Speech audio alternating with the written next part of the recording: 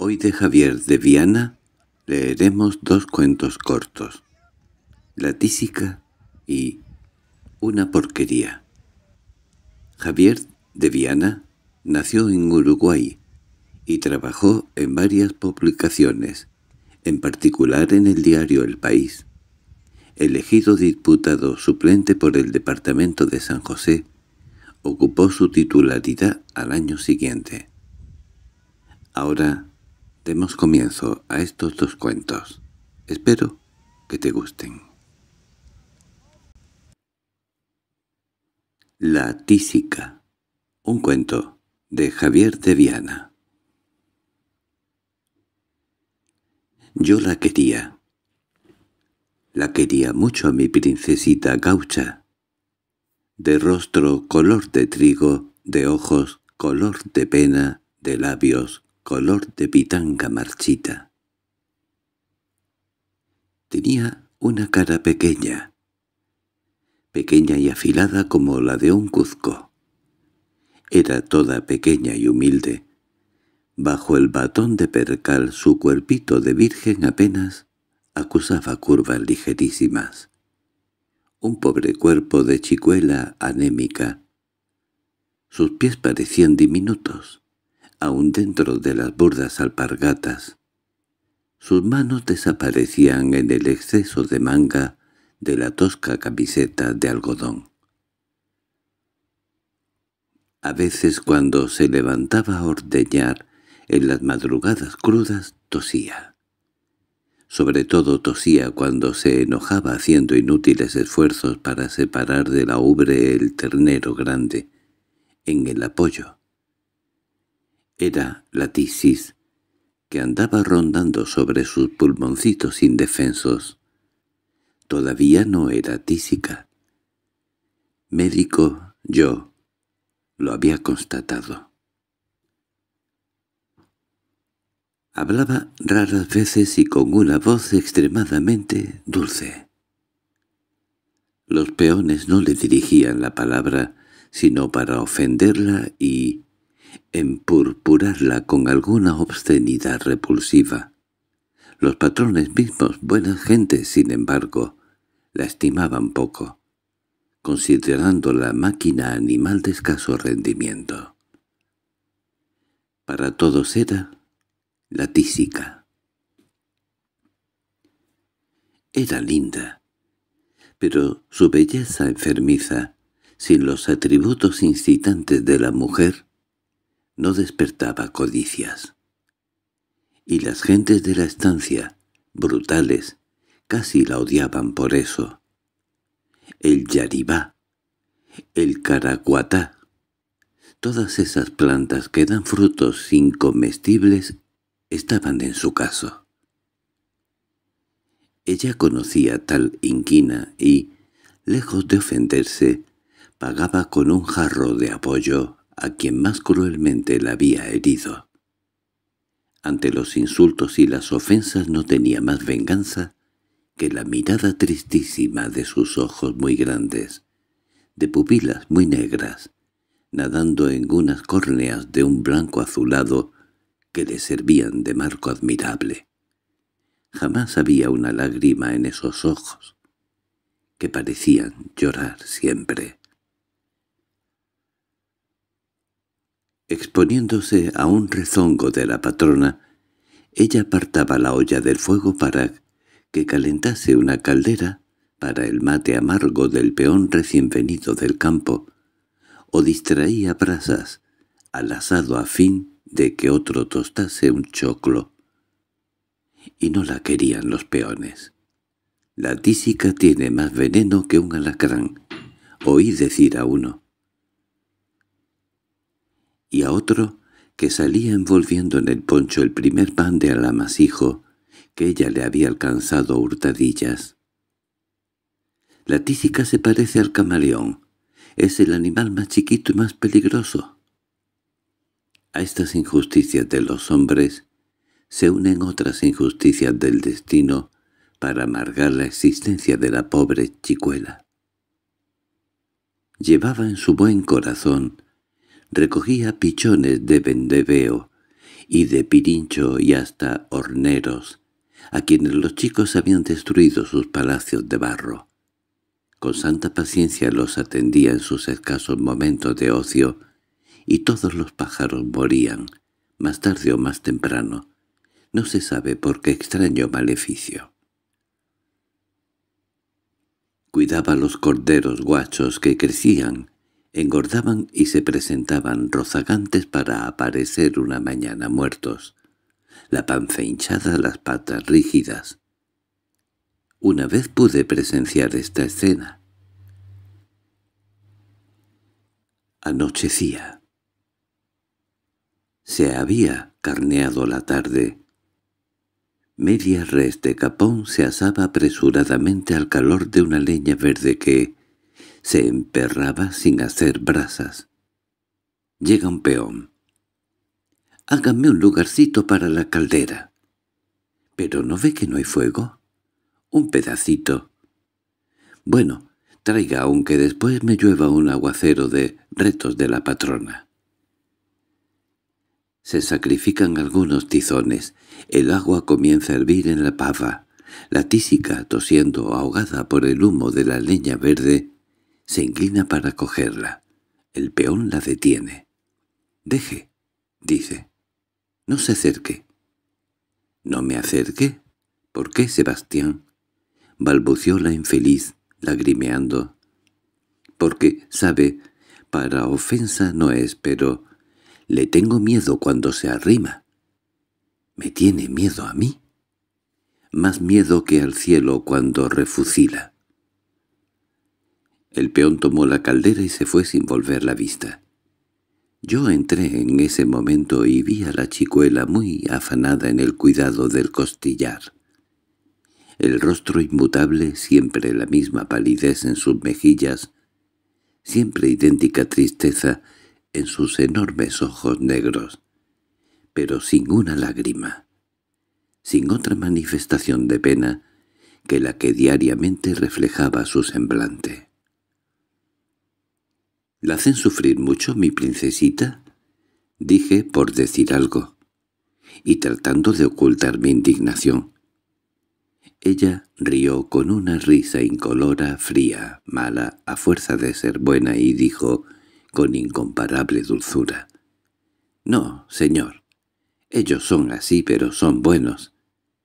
Y después, para mi tos, un acceso de tos le cortó la palabra. Yo no pude contenerme. Corrí. La sostuve en mis brazos, entre los cuales estremecía su cuerpecito mientras sus ojos, sus ojos de crepúsculo de invierno, sus ojos áridos inmensamente negros, se fijaban en los míos con extraña expresión, con una expresión que no era de agradecimiento, ni de simpatía, ni de cariño, Aquella mirada me desconcertó por completo. Era la misma mirada, la misma de una víbora de la cruz con la cual, en circunstancia inolvidable, me encontré frente a frente cierta vez. Helado de espanto abrí los brazos. Y antes que me arrepintiese de mi acción cobarde, cuando creía ver a la tísica tumbada, falta de mi apoyo la contemplé muy firme, muy segura, arrimando tranquilamente brasas al asado, siempre pálida, siempre serena, la misma tristeza resignada en el fondo de sus pupilas sombrías. Turbado en extremo, sin saber qué hacer, sin saber qué decir, abandoné la cocina, salí al patio y en el patio encontré al peón de la caldera que me dijo respetuosamente Vaya con cuidado, doctor.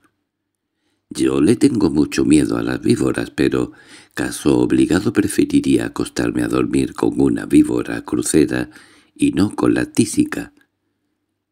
Intrigado e indignado a un tiempo, lo tomé por un brazo, lo zamarreé gritando.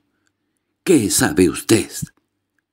Él, muy tranquilo, me respondió. —No sé nada. Nadie sabe nada colijo. —Pero es una infamia presumir de ese modo —respondí con violencia. ¿Qué ha hecho esa pobre muchacha para que la traten así? Para que la supongan capaz de malas acciones cuando toda ella es bondad, cuando no hace otra cosa que pagar con bondades las ofensas que ustedes le infieren a diario. Oiga, don, decir una cosa de la tísica yo no puedo decir. Tampoco puedo decir que el camaleón mata picando, porque no lo he visto picar a nadie. Puede ser, puede ser, pero le tengo miedo. Y a la tísica es lo mismo, yo le tengo miedo. Todos le tenemos miedo. Mire, doctor, a esos bichos chiquitos como el alacrán, como la mosca mala, hay que tenerles miedo. Cayó el paisano. Yo no repliqué nada. Pocos días después partí a la estancia y al cabo de cuatro o cinco meses leí en un diario este breve despacho telegráfico. En la estancia X han perecido envenenados con pasteles que contenían arsénico, el dueño, su esposa, su hija, el capataz y toda la servidumbre, excepto una peona conocida por el sobrenombre de la tísica. Fin. Una porquería. Amigos, pero entrañablemente amigos, eran Lindolfo y Caraciolo, amigos de aquellos entre quienes carecen de valor las palabras tuyo y mío. Si Lindolfo no encontraba su chinchón al ensillar, tomaba el de Caraciolo. Si Caraciolo en un apuro hallaba más a mano el freno de Lindolfo, con él enfrenaba. Por eso andaban casi siempre con las garras misturadas. Común de ambos eran los escasos bienes que poseían, siendo como eran humildes peones de estancia y además mocetones despreocupados y divertidos. Pero común de ambos era también el opulento caudal de sus corazones. A pesar de esto llegaron a ser rivales. El caso ocurrió del modo siguiente. Con motivo de una hierra fructuosa el patrón regaló un potrillo a cada uno de los peones. Lindolfo eligió un pancaré. Caraciolo eligió un govero.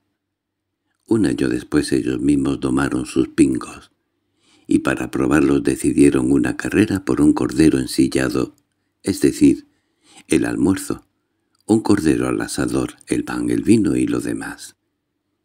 Corrieron y ganó el overo. Lindolfo no se dio por satisfecho y concertaron otra prueba. Tiro igual, plazo de un mes. Volvió a perder el pangaré, pero tampoco quedó convencido su dueño. «Me has ganado por la alargada». «¿Qué quiere, hermano? Cuando se corre un caballo hay que cerrar la boca y abrir los ojos. Aunque te advierto que no me vas a ganar ni haciendo vaca con el diablo». ¿Quieres jugarla para otro domingo? ¿Las mismas trescientas varas? De juro. Está bueno. Y el domingo siguiente corrieron con igual suerte. Esta vez Lindolfo quedó amoscado. No puedo, como antes, soportar impasible las burras de su amigo. Este comprendió que estaba demasiado caliente el horno y que había peligro de que se arrebatase el amasijo, y cayó. Si esta tardecita cuando regresaban de la pulpería, Caracciolo hubiera rodado, quebrándose una pierna, Lindolfo quizás se hubiera alegrado, pero el día siguiente ya no conservaba ningún rencor, expulsado el despecho por el afecto fraternal que los unía. A pesar de eso, Lindolfo no se resignaba a reconocer la inferioridad de su caballo, encontrando para cada derrota una causa justificativa y empecinándose cada vez más en tener el desquite. «Si es añudo, hermano», le decía Cariciolo, «su pangaré es mestizo con burro. Lo veremos el domingo». Aquel duelo divertía al pago entero. Domingo a domingo se repetía la prueba. Varias veces Carasiolo, condolido de la terquedad de su amigo, fue dispuesto a dejarse ganar, pero luego en la excitación de las partidas, la pasión lo dominaba y de nuevo era suyo el triunfo. Un día, viendo que las cosas iban formando mal cariz, Carasiolo dijo, «Bueno, hermano, esto ya es toncera. No te corro más». Lindolfo no podía conformarse. Alegó, protestó, rogó. «La última para el domingo y nada más». «¿La última? Sí». Quedó convencido. Lindolfo tuvo durante una semana todos los cuidados inimaginables, viviendo solamente para su caballo, que el día de la carrera se presentó en un estado admirable. Cuando le quitó la manta, el paisanaje conocedor se manifestó admirado y esa admiración llenó de alegría el alma de Lindolfo. Sin embargo, desde la primera partida empezaron las ofertas con usura, causándole verdadero dolor. Cinco a dos, diez a tres, tres a uno, doy doble y luz al overo. Largaron. En balde Lindolfo despedazó su caballo a espuela y chicote, perdió. Al desmontar estaba densamente pálido. Anduvo un rato dando vueltas, sin saber lo que hacía, y concluyó por acercarse a Caracciolo. Un numeroso grupo rodeaba y elogiaba al overo. «Lo que es ahora no corremos más», dijo Caracciolo, poniendo cariñosamente la mano sobre el hombro de su amigo. «No, no corremos más», respondió éste con voz amarga y ronca. Enseguida, como presa de un vértigo, sacó la daga y la hundió en el codillo del overo. Caracciolo, asombrado, dio un paso atrás, mientras su caballo se desplomaba pateleando. —¿Qué has hecho? —dijo. Y, furioso, desnudó el cuchillo, se abalanzó sobre su amigo y antes de que nadie pudiera intervenir, Lindolfo caía con el cuerpo acribillado a puñaladas. Preso, Carasiolo, se mostró resignado y tranquilo confiando en la absolución. ¿Quién había de creer que Lindolfo fuese capaz de hacer esa porquería? Porque, pucha, es porquería grande matarme el caballo queriéndonos como nos queríamos.